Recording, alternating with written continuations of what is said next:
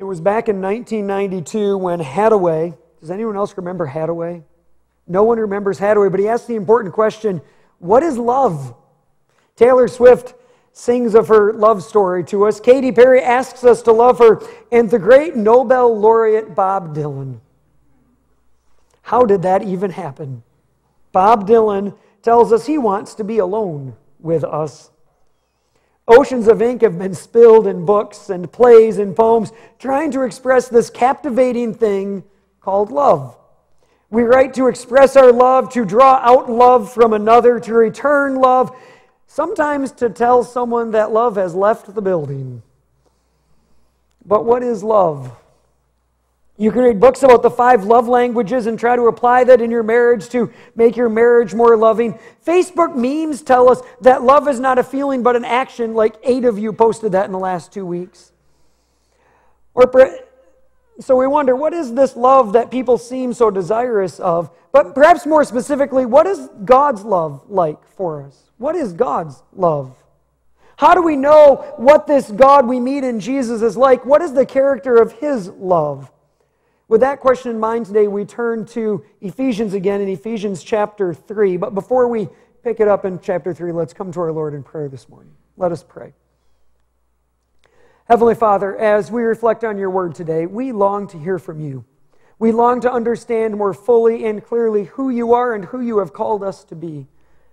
And so we ask that you would speak, for we, your children, are ready and longing to hear from you.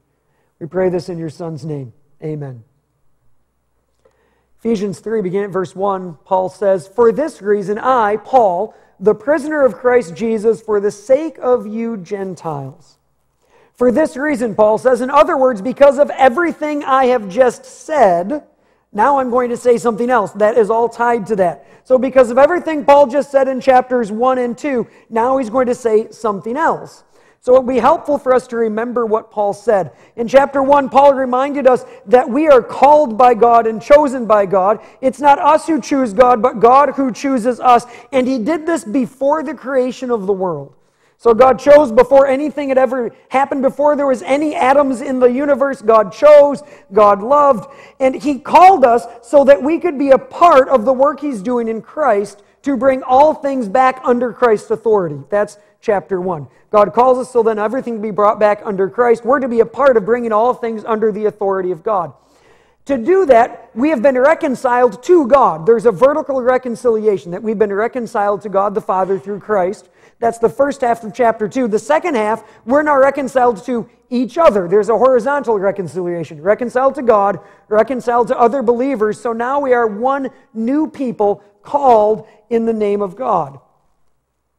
So, given that, Paul says, for this reason, and then Paul goes on a tangent. Have you ever had a pastor start a point and then go on a bunny trail?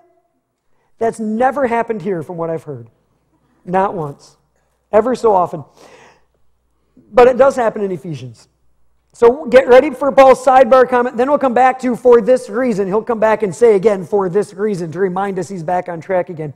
But he goes on to bunny trail and begin at verse 2. He says, Surely you've heard about the administration of God's grace that was given to me for you. That is the mystery made known to me by revelation, as I have already written briefly. In reading this, then, you will be able to understand my insight into the mystery of Christ which was not made known to people in other generations, as has now been revealed by the Spirit to God's holy apostles and prophets. This mystery is that through the gospel, the Gentiles are heirs together with Israel, members together of one body, and sharers together in the promise in Christ Jesus. I became a servant of this gospel by the gift of God's grace given me through the working of his power. Although I am less than the least of all the Lord's people, this grace was given me to preach to the Gentiles the boundless riches of Christ and to make plain to everyone the administration of this mystery, which for ages past was kept hidden in God who created all things.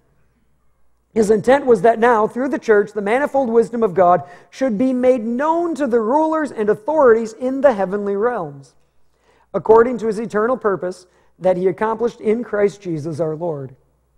In him and through him and through faith in him, we may approach God with freedom and confidence. I ask you, therefore, not to be discouraged because of my sufferings for you, which are your glory. So Paul goes off on this tangent about how he is the apostle to the Gentiles. And then in the middle of the tangent, he says some pretty important things about the gospel itself that he calls the mystery of Christ. Now, back in the ancient world, there were mystery religions. There were religions that taught that you needed some sort of secret knowledge in order to, be, to join their religion, in order to be accepted by their God. But Paul isn't talking about that kind of mystery religion. He's talking about a particularly Jewish mystery. A mystery the Jews had lived with for thousands of years.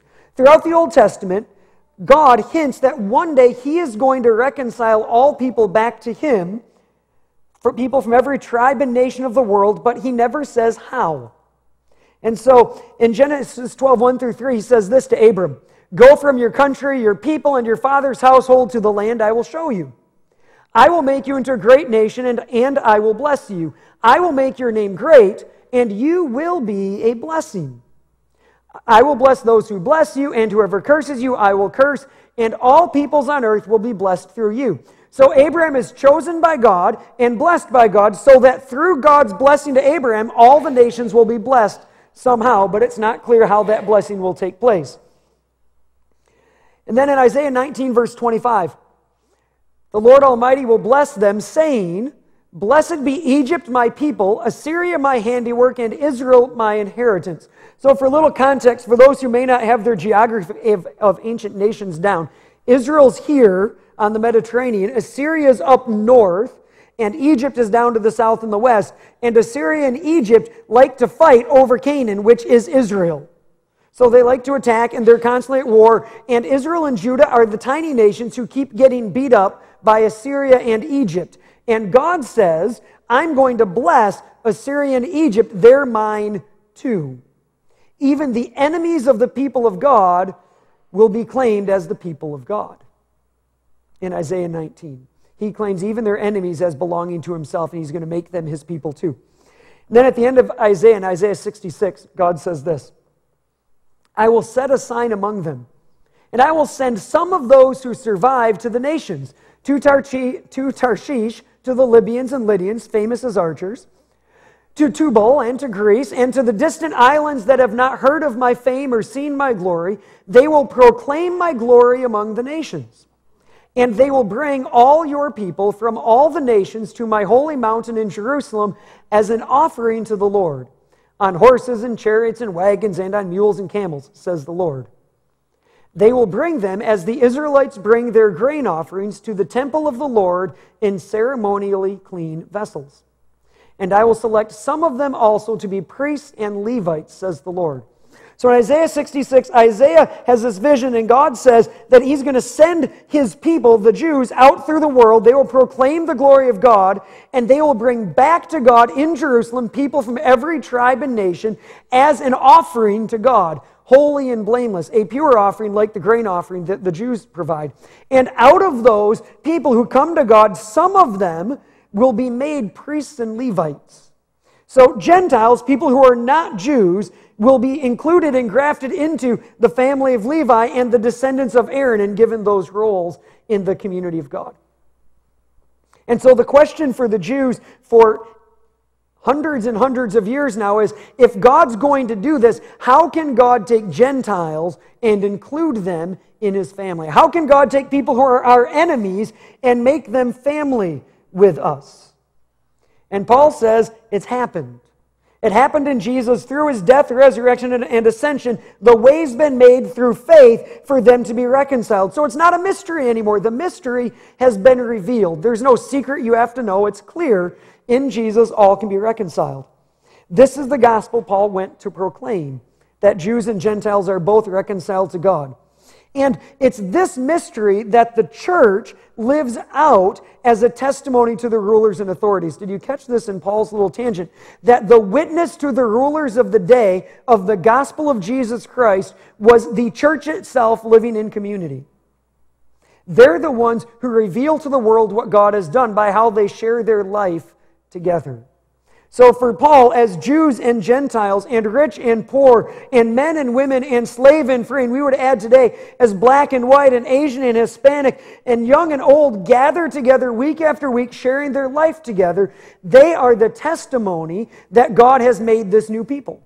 They are the proof that what Jesus did on the cross was effective because he's made this new people in the church, people who do not belong together but now do because of Christ, because nothing else would draw them together. Which should caution us to the extent that everyone in your church looks and thinks and acts like you, you're not doing a good job living that gospel out to the extent that everyone in church looks and acts and thinks like you, you're not living that gospel out very well because the diversity of the church, the fact that God brings these disparate people together, is our witness. It's not the words we say, it's not the songs we sing, it's the fact that we're really different and we come together and live life together and love one another when nothing else would make us do it other than our common love for Christ. That's what Paul is saying in his tangent. Isn't that a great tangent? You have a whole sermon on that. Someone should. But we're covering the whole chapter today. So that's what he's saying that God's power and glory and honor are revealed in this new community that has been formed through Jesus of Jews and Gentiles alike. And then Paul gets back to his main argument at verse 14. So, given that we've been reconciled to God and to one another, how does Paul respond? He says, For this reason, I kneel before the Father, from whom every family in heaven and on earth derives its name. I pray that out of his glorious riches he may strengthen you with power through his Spirit in your inner being, so that Christ may dwell in your hearts through faith. So, Paul's first response to this good news, he proclaims you've been reconciled to God, to each other, and the first thing he does is fall on his knees and pray. He falls on his knees and prays for the church in Ephesus. He prays for us, he prays for every church, I think, that they would come to understand this more fully and let Christ dwell in their hearts. And it makes me think that often we pray for too small of things. Like when I pray, I pray for my kids to do well on tests, to make the sport that they want to make or the choir they want to be in, or that people get well who are sick, and those are great things to pray for. But I'm struck, how often do we passionately get on our knees and pray that Christ will dwell, take up his residence in someone else's life and transform them? Is there anything that matters more than that in people's lives? But how often are we doing that day after day on our knees, not just for our kids maybe, but for others? How, do we, how often do we pray those kinds of prayers?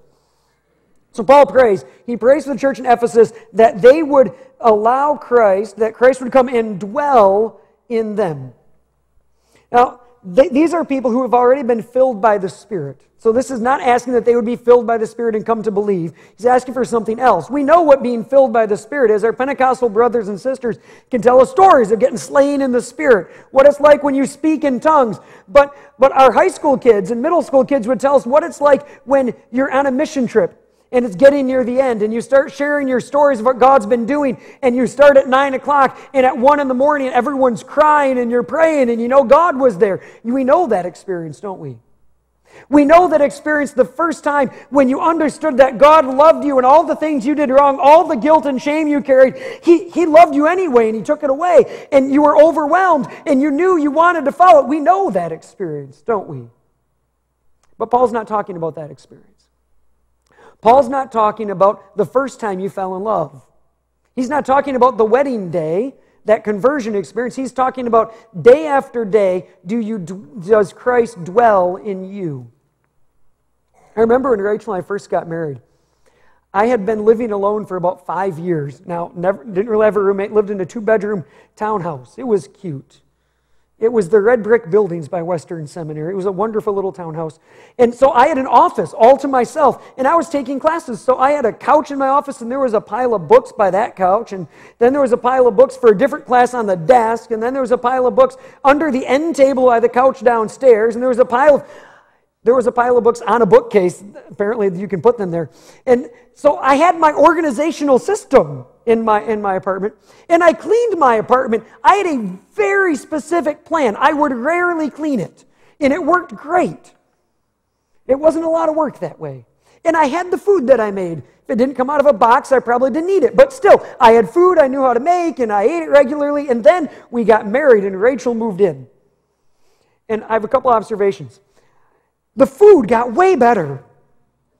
Way better. And and the cleaning, we had a schedule then too. It was called regularly every single week, not when you felt like it schedule. It got it was much cleaner that way. And then my piles, all my classes that were organized by location in the apartment, well, they, they moved.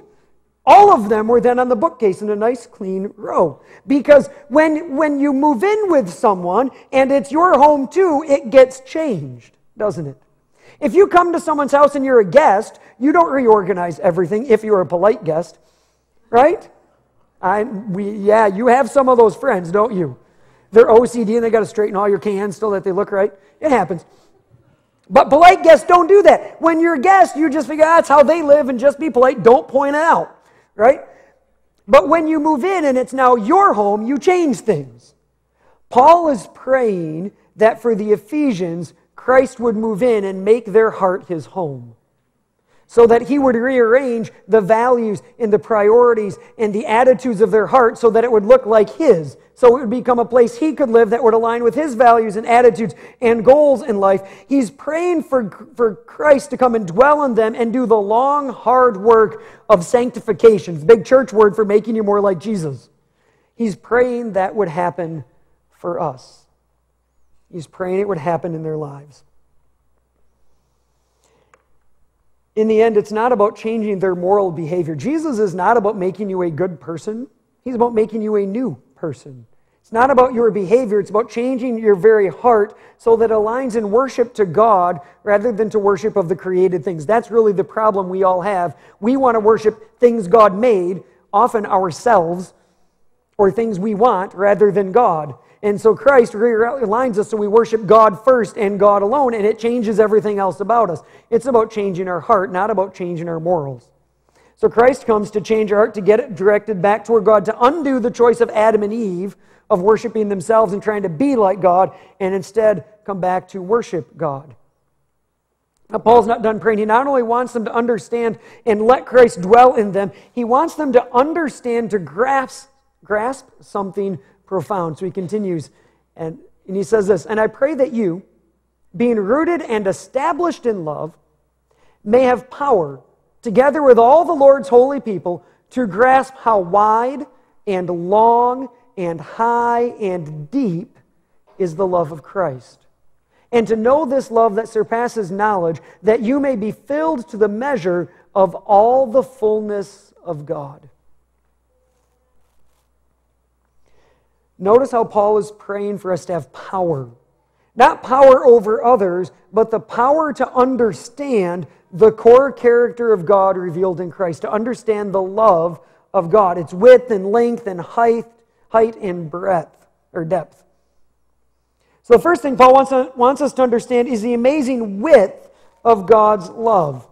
The Jews thought that God loved Jews Important, God loves Jews, but He loves the faithful Jews, the religiously and ritually pure Jews, the ones who follow His law well. And they were sure that's who God loved. And then Jesus came. And Jesus came, and Jesus hung out with the tax collectors and the prostitutes and the people with bleeding diseases and with leprosy, people who were ritually unclean and were evil, immoral, terrible sinners the, should be the enemies of God, and Jesus came and loved them. And suddenly the Jews were faced with this brutal fact that God not only loves the good Jews, He loves the bad Jews too. And they had to expand their definition of who God could love. And then, after Jesus was raised from the dead, the disciples said, Well, we know God loves all the Jews. So they preached to all the Jews. And then, when they got kicked out of Jerusalem, some of them had to go through Samaria. And they thought, Well, we're here. We might as well talk about Jesus. And Samaritans believed, and the half Jews get loved by God. Who would think a half Jew would get loved by God? Certainly not the disciples. But they did. And they came to faith. To faith. And then, God sends the Spirit on a eunuch that's as ritually unpure as you get. They're not even allowed in the temple.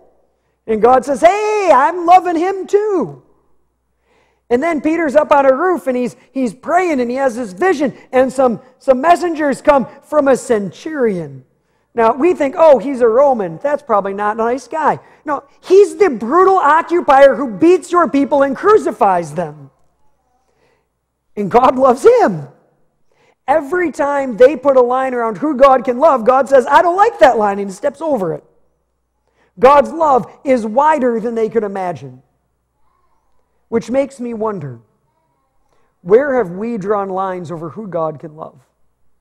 Where have we set limits on how far God's grace can reach someone?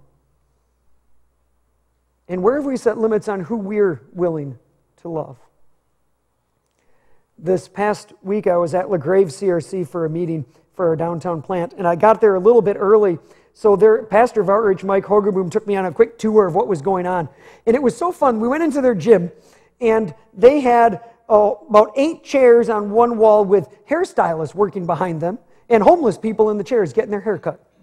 And then they had about 20 chairs with, with homeless people sitting in them and, and nursing students washing their feet.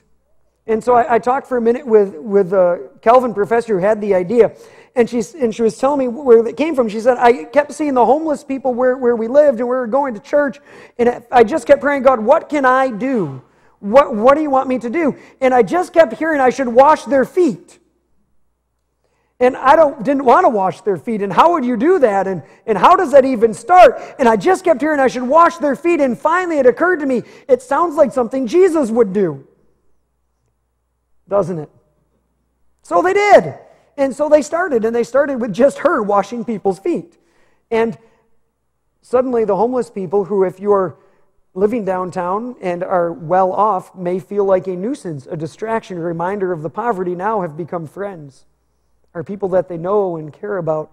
And a community is being formed because someone's willing to wash feet, someone's willing to love across economic lines. What would it look like for us to expand our definition of who God calls us to love? What would it look like for us to expand our definition of who God can love? God's love is wider than we can ever imagine. God's love is wide, but it is also long. It's longer than we can fully grasp in our minds. I was visiting with Marvin Bev Nagelkirk on Tuesday because she was back in the hospital, and it happened to be their 61st wedding anniversary. Has anyone here been married more than 61 years? There are some of you back there, praise God. So I'm sitting with Marvin Bev, and it's their 61st wedding anniversary. They're in a hospital, and Marv is sitting in a chair, and the sun's coming through the window, and it's hitting him on the side of his face. And Bev is all worried that it's going to give him a headache, but she can't get out of her chair because she's the one in the hospital. And Marv won't close the blind, and she's getting a little upset. Marv, just get up and close that blind.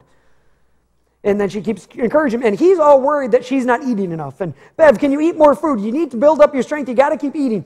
And they're just trying to love each other and take care of each other after 61 years because that's what they do. They've raised kids together. They've lived in multiple homes together. They've, they've sat, stood at gravesides and mourned together for those they love who are gone. And they've shared day in and day out with one another. And they're just always there for each other because that's what you do when you commit your life to someone and then you make it last 61 years. 61 years. I hope Rachel and I get 61 years. Because in the scheme of things, it doesn't seem very long, does it? Some of you have been married more than 61 years. It doesn't seem like it's long enough, does it? You wish you could have more. It seems like a long time to us to love someone for that long. But before the world was made, before there was time, before there was a here or a there, before there was anything at all, God loved you. You cannot understand how long ago that was because it wasn't even time there yet. There was no way to measure it. You can't even measure how long God has loved you, and He hasn't stopped and He's not going to. When there is no more time, He's still going to love you. Infinity doesn't capture the length of God's love because it's bigger than something that doesn't end. Paul longs for us to grasp how wide God's love is and how long God's love is. If he's loved you this long, what could ever make him stop? Do we grasp how wide and long God's love is? Do we grasp how high God's love is? Sometimes we can get a vision that the gospel is about somehow God helping us escape a punishment As if the gospel is a get out of jail free card or fire insurance so you don't have to go to hell. I've heard it described that way. But that's not how Paul describes it in Ephesians. He says that we've been raised with Christ and lifted up with Christ into the very throne room of God to sit at God's right hand with Christ. That's how high God's love is. His love is not about getting you out of one bad thing, it's about lifting you up to the best thing ever. It's about raising you up and making you better than you ever could have been on your own. It's about letting you see the glory of the one whose glory is so great no one can be in his presence and survive. That's how high God's love is. He wants to lift you up to be with Him. But it's also deep enough that God comes to be with us. It is deep enough that He comes to be with us when it's inconvenient, when it's awkward, when it's painful, when it hurts. God loves us when we're at our worst. So when you've had a long day and the kids' shoes are strewn about the floor in your house when you come home and you trip over them and the laundry's piled this high and you have had it because it's you're up to here and you just blow up at your kids. God's love is, love is deeper than that. When you fall into the same pattern of gossip and attention seeking, you want to be in the center of everything, and you're engaged in all of those unhealthy things that you thought you were over with in middle school, but you still do when you're in your 50s, and you just can't seem to quit, and you know it's not right, and you want to be different, and you finally realize it, but you're still stuck in all those bad patterns. God's love is deeper than that. When you're up late at night staring at images on a computer screen, or at the bottom of a bottle or a glass, God's love is deeper than that. When your marriage is over and you don't know how to move forward and life seems dark and overwhelming and you are ready to give up, God's love is deeper than that. And when you're angry, when you're angry at God and you're angry at the church and you shake your fist at God and you're just mad because He let you down, God's love is deeper than that and He still doesn't let go. There is no road that you can walk. There is no emotion you can feel. There is nothing that can bring you lower than God's love can reach. His love is always deeper than our sin could ever go. And so Paul prays for his church. He prays for the church to know this love that is wider than we can imagine, that's longer than we can fathom, higher than we can comprehend, and deeper than we can measure. And he prays confidently because he knows that this God has the power to answer his prayer. So he ends his prayer with this at the end. He says, Now to him who is able to do immeasurably more than all we ask or imagine, according to his power that is at work within us. To him be glory in the church and in Christ Jesus throughout all generations, forever and ever. Amen.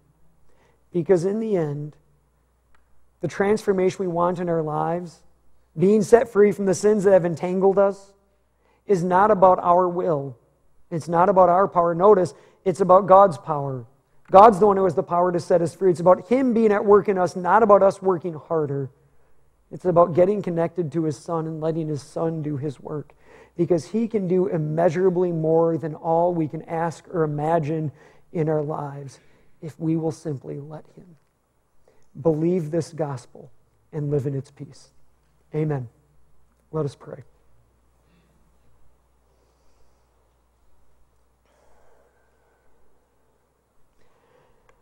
Heavenly Father, we know that you are able to do immeasurably more than all we can ask or imagine. And so we ask that you would do what you want in our lives, that your Son would dwell in us, that he would transform and change us, that you would enable us to understand the height and length and depth and width of your love, and that we might learn to love as you do according to your power that is at work within us.